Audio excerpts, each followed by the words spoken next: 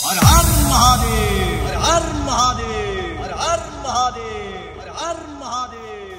One two three या हिंदुस्तान जिंदाबाद हिंदुस्तान जिंदाबाद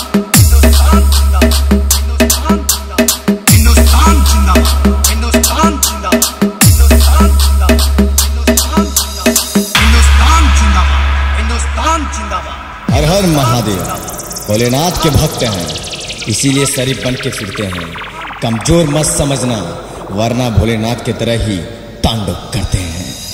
है पाकिस्तानियों, वक्त है अभी संभल जाओ तुम, अपने आतंकियों को खत्म कर डालो तुम, वरना हम ठोकेंगे चुन चुन कर, कब्रस्तान का जगह बना लो तुम।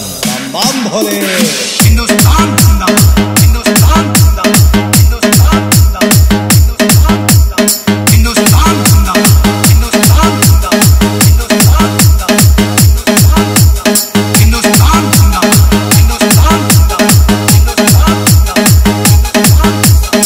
आशीष आशीष।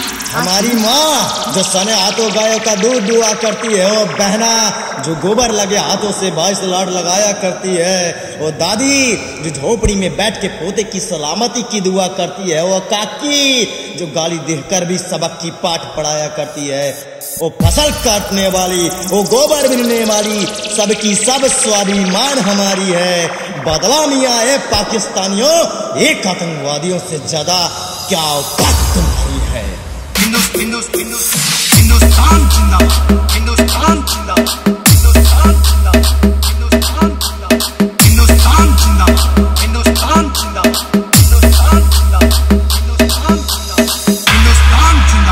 हिंदुस्तान जिंदाबाद। अबे चुप भड़वे तेरे ही मुल्क, तेरे ही सरजमी, तेरे ही बस्ती से, तेरे ही आवाम के बीच से तेरे चिथड़े चिथड़े कर दूँगा। धारा अनमोल बदल कर निकलेगी लाहौर से गंगा। इस्लामाबाद की छाती पे चढ़कर लहराऊँगा भारत का झंडा। नामो निशान नहीं होगा, कश्मीर तो होगा, लेकिन पाकिस्तान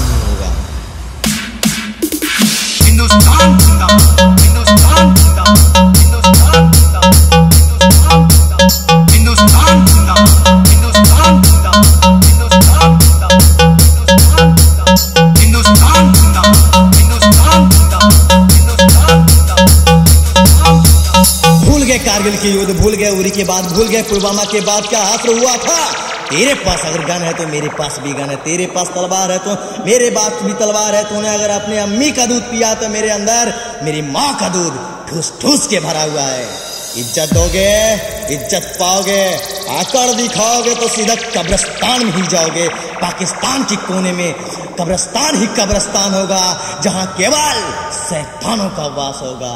बम बम भोले।